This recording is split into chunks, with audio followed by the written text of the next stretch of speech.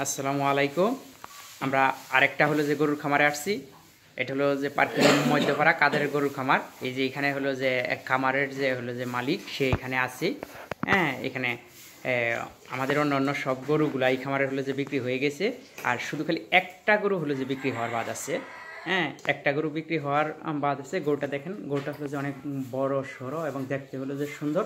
কালারটাও অনেক সুন্দর। হ্যাঁ গরুটা। তাই আমরা এখন কথা বলব খামারের হলো যে মালিকের সাথে গরুটা কত বিক্রি হওয়ার আপনার হলো যে আমার দেড় লাখ টাকা টার্গেট হুম দেড় লাখ দেড় লাখ টাকা হলো যে বিক্রি করার হলো যে নিয়ত আছে আল্লাহর কাছে দেখা যাক আল্লাহ হলো যে কি করে হলো যে এটা হলো যে অবশ্য দাম হয়েছে গরুটা হলো যে কত মোটামুটি হলো যে এক লাখ হলো যে আটত্রিশ এরকম হলো যে দাম হাঁকানো হয়েছে এর মালিকের নিয়ত হলো যে এক লাখ পঞ্চাশ তাহলে বোঝা যায় যে অনেকটা হলো যে কাছাকাছি হলো যে চলে আসছে হ্যাঁ দামের।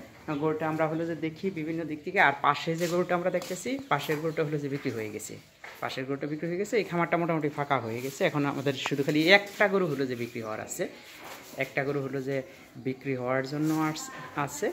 যাদের হলো যে কেনার জন্য নিয়ত আছে, তাহলে তারা কমেন্ট বক্সে হলো যে নম্বর দেওয়া থাকবে, এই নম্বরে যোগাযোগ করবেন।